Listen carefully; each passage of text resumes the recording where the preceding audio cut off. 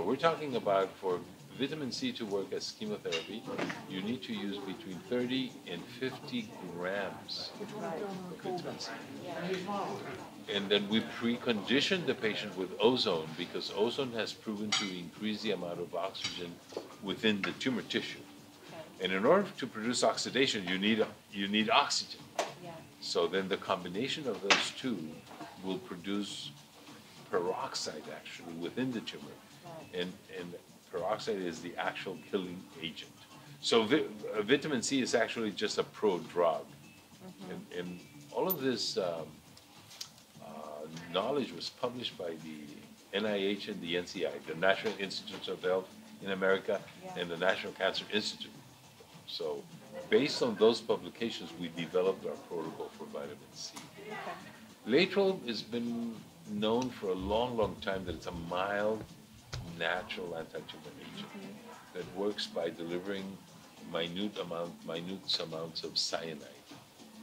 And um, the cyanide normally, in the normal cell, is converted into cyanocobalamin, which is B12.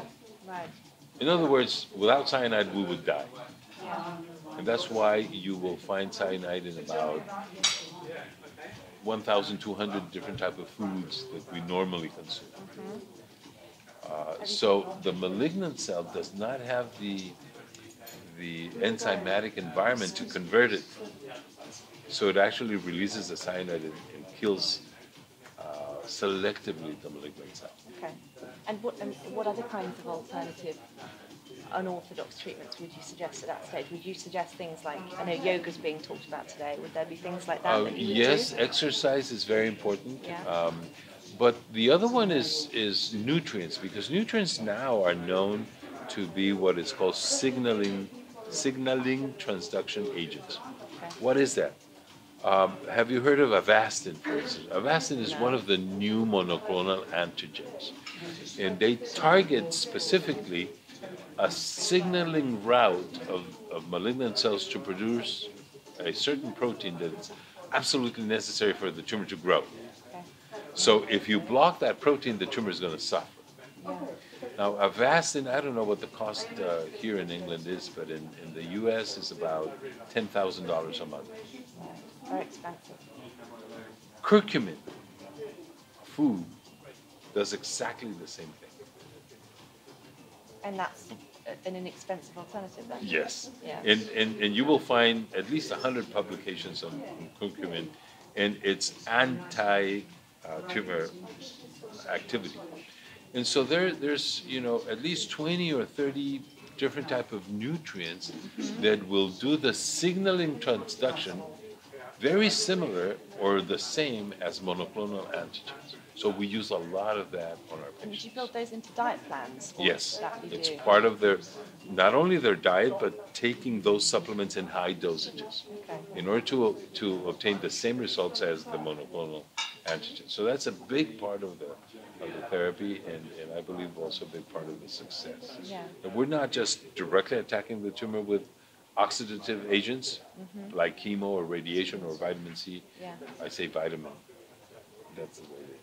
Um, right. sorry about that. um, uh, so we also work on the on on the signaling transduction entity of, of cancer, which is, you know, the nowadays the future. The problem is, as I tell you, the monoclonal antigens are very high, and more and more we're finding um, genetic mutations that uh, are a big component of, of cancer. So a cancer of the breast may have 20 or 30 different genes that you need to attack. So imagine if you use 20 monoclonal antigens at $10,000 a month. It becomes completely Mm, unaffordable. unaffordable, impractical. And, and I gather that you, the, the time spent at the clinic is actually quite short, two to three two, weeks. Two to three weeks, that's the initial part of the therapy. Then we require for the patients to come, come uh, either in. every month or every three months or every four months, depending on how aggressive the tumor is, how Yeah. advanced the problem is. Uh, but yes, the, the, the patients is not just you know three weeks and that's it, and No, no, patients no. are cured. No, it's the three weeks are the initiation process. Then everybody goes home with uh, therapy And diet plans? and diet plans. Yeah. Yes. Um, exercise, whatever a patient can do. There are some patients that cannot exercise. Yeah. Uh, there are some patients that cannot keep a diet. For instance, somebody that that, that cannot swallow has a tube to, to feed in the stomach, so you need special type of food. Yeah. So there's many differences for the patients, but yes, it's a long term, it's a long term commitment. And once they're there, they have presumably a, a large room in the clinic and stay Uh, the patients have a very nice room, and the and the room is more set up like the hotel rather than the hospital. Right, yeah. Um, so there's a hospital bed and a normal bed. Okay. we we encourage the patients to come with a with a companion, family member, Right, yeah. spouse, friend, uh, To stay in the same room or? to stay in the same room because it makes a big difference. Support is is terribly important. Um, somebody that, that that cares for you in such a way that makes a sacrifice to spend that time with you adds a tremendous amount of value to your life. And what are the it- facilities like? Uh, Do you have big grounds? Well, uh, big is, is very subjective, but it, it's, it's a large enough uh, hospital. It's a hospital. Yeah. We have 62 rooms. Right. Uh, every room is very ample because it, it houses uh, people, and then also for a long time. It's not easy to be, you know, in a place that it's very cramped for three weeks. So it is large. In, in our hospital, I would say that it's uh, it's a, a, a very well equipped uh, hospital, similar to a, a let's say regional hospital in, here in England. So we have all the facilities that you need to take care of patients with uh, you know complicated uh, diseases such as cancer. Yeah. So we have cardiologists, we have nephrologists, we have radiologists, we have about 25 different uh, specialties to support taking care of cancer patients. And how do you work out the cost of what people need when they come in? How is that worked The, out? the cost is also very subjective because, you know, some people will need the more than, but the, the average a patient will spend with us for the first three weeks is around 20,000 US dollars, Okay. Yeah. which is uh, not expensive in comparison to, you know, the cost here. The difference is that here you don't pay for it because you have uh, socialized medicine. Uh, in America, most people have uh, insurance, and um, this uh, the natural part of the therapy. Most insurance companies will not pay. Yeah, yeah. Insurance companies will pay for anything that is conventional at our hospital. Uh, from England, well, obviously they, they have to pay everything because your system does not pay outside of, Yeah. of your country. Um, so then it is, since it's out of pocket, it seems like a lot of.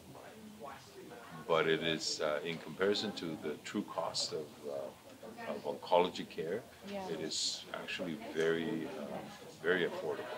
And do you have a lot of people coming from the UK as a result? We have, for instance, right now as I left, we have three patients from the UK. yeah. Uh, um, we, we have about 300 new patients per month. Um, I would say that about 15 or 20 of those patients are from from the UK, most of them. Some from Europe, let's say Yeah. Germans and other patients, but most of the patients that we have from from this area are from the UK. Has that been increasing? Have you noticed that that's going Yes, up? yes. Yes. Yeah. Uh, more and more patients, uh, be, because of the good results in the patients that come back, so they refer other patients. So yes, that, that has been increasing. Yeah.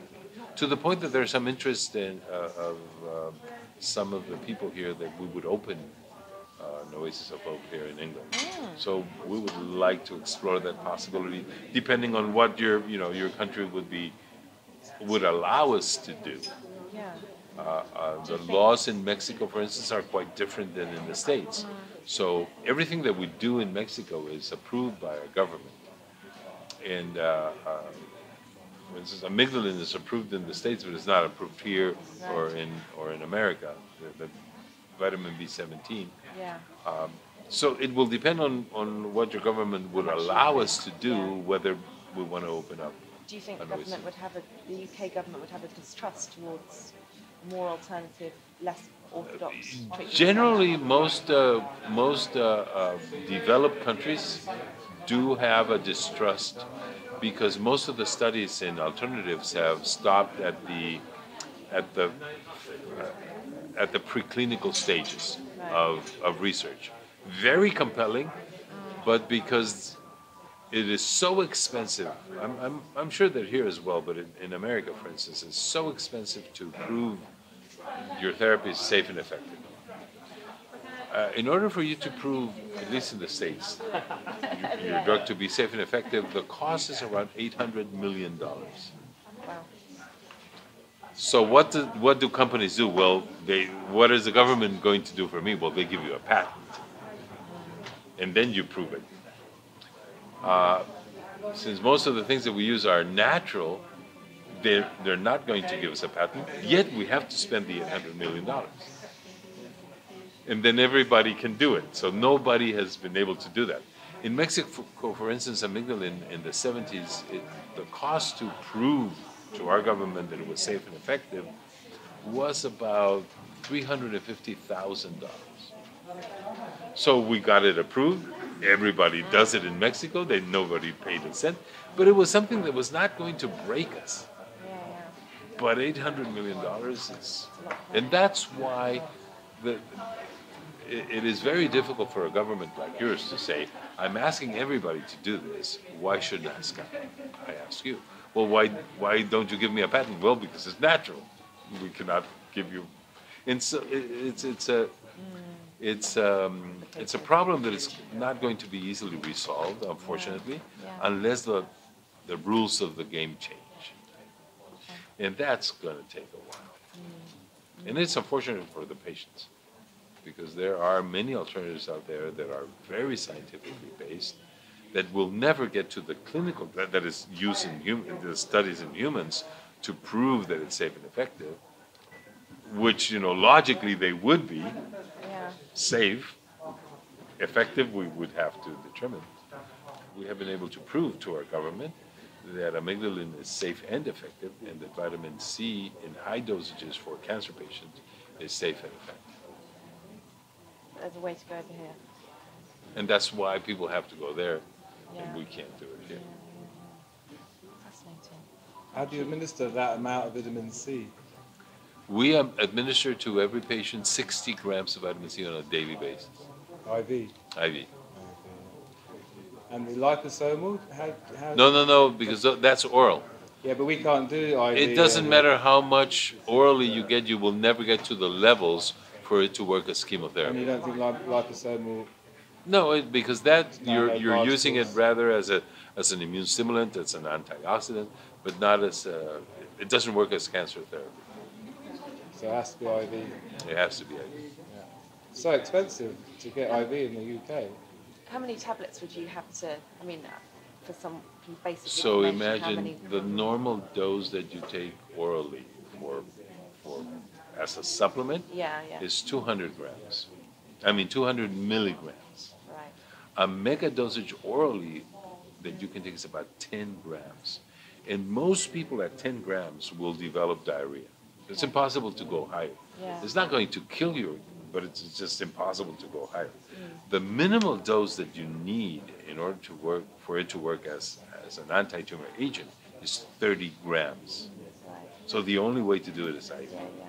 And that just doesn't affect have the same effects as It- the it- negative effects on, the body. Yeah, no, no, you have no diarrhea. It's very, very well tolerated. Up to 100 grams we've done very well tolerated.